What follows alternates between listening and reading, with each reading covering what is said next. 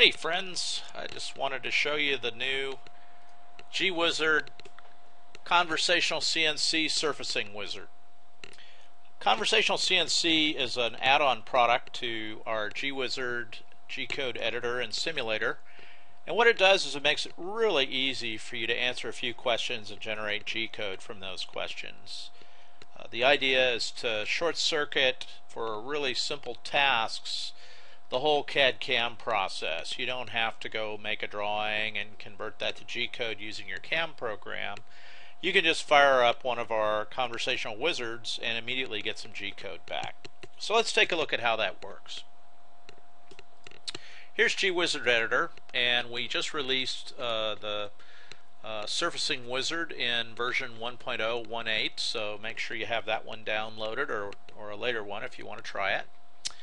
And uh, this series of blue buttons right here are the various different kinds of wizards uh, that are available in the GWizard editor for creating G-code. And uh, the first six of them along the left here are just built into the product, and they do things like uh, make it easy for you to, to look up and figure out what the right uh, additional parameters are for G&M codes, feeds and speeds, which is integrated with our GWizard calculator feeds and speeds uh, program, tool changes, so on and so forth. The conversational wizards, though, are here. And they'll change depending on whether you have a, a mill or a, a lathe. We have, uh, so far, we have the hole wizards. And here's the new surfacing wizard. So the surfacing wizard supports three different style tool paths. It'll either zigzag back and forth, uh, which is we're noting here is is the best tool path for from a speed standpoint if you just want to uh, get the top of a workpiece surface quickly.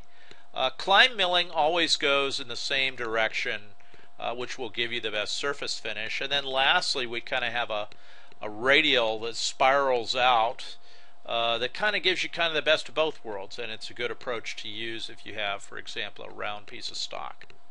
So to use the wizard, you select a toolpath style. Let's start with zigzag. Uh, tell us your width and height. The assumption is that part 0 is the lower left corner of the area that you're going to surface. So this width and height starts at a 0, 0 in the lower left. Uh, this is the diameter of your tool. I've uh, got a 2 inch uh, face mill teed up here. This is your uh, step over, um, percent tool diameter, uh, spindle RPM, 500 RPM, feed rate, plunge feed. You can calculate all of those with our uh, uh, feeds and speeds calculator. Your depth that you would like to go down to, how far you want to go roughing, and a finish allowance if you want to make a finishing pass. So having answered those questions, you just hit the insert button and here you get a, a, bunch of G code and it's commented with the original arguments that you uh, uh, gave the program and, and a bunch of information, make it easy for you to follow it. Uh, you can see we do uh, several things that are very useful. For example, we arc into the cut, which is something that uh, uh, really can help improve the tool life of your your inserts. It's a recommendation by Sandvik, among others.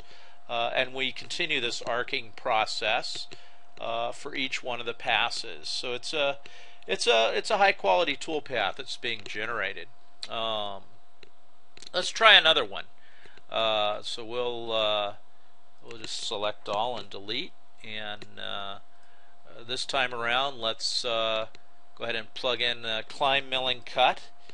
And again, same sort of thing. Only this time, as you can see, we're gonna arc in, we're going to go across, we're going to lift off and come back and arc in again each time. So it's always cutting in the same direction. It's a climb mill cut uh, to give you the best surface finish. And then uh, lastly, we can uh, uh come in here and uh, choose the radial uh, tool path. See what that looks like. And it's, again, it's just, it's a straightforward, it's real similar to helical interpolation. We're going to go ahead and and uh, do the initial cut here based on the diameter of the tool and then we'll spiral out and uh, we have a finish allowance in the whole nine yards so that's the new surfacing wizard it makes it really easy for you to put together a, a high quality surfacing tool path get a piece of material surface before you're ready to machine it and uh, we hope you like it. Thanks very much.